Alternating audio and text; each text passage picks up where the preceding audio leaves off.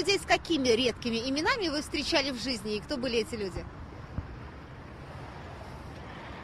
Как вам сказать? Э, Я прожила довольно долгую жизнь. Ибрагим вам что-нибудь говорит?